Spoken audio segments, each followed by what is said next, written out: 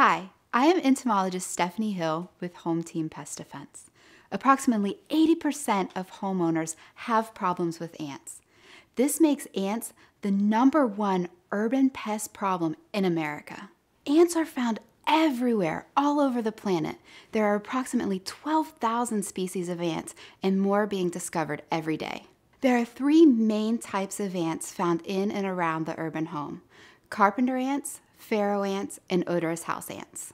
Ants are really easy to identify. Like any other insect, they have three body parts the head, the thorax, and the abdomen.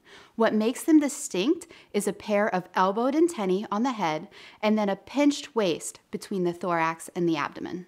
Remember, just like humans and other animals, ants need three things to survive food, water, and shelter.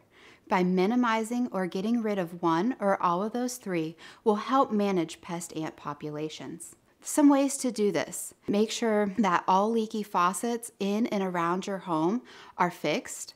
Remove any potential food sources. Any crumbs on the counter, animal food that is on the ground needs to be picked up and put in sealed containers after the pet is done feeding. Also, you want to keep a vegetation free zone around your house. So make sure that around roof lines and around the foundation, trees and shrubs are cut back at least two feet. By removing food and water sources as well as pest proofing your home, if those don't work, then it's time to call a pest management professional. The hardest thing about ant control is identifying the particular ant you have. And knowing that particular ant leads to the type of treatment that you or your pest management professional will need to know.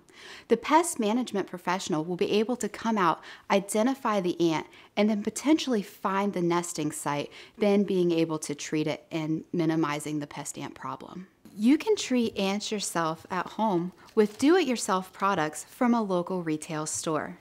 Be sure when using these products, you take the safety of yourself and others in consideration. To learn more about ants and how to protect your home, call us at Home Team Pest Defense or visit us at pestdefense.com.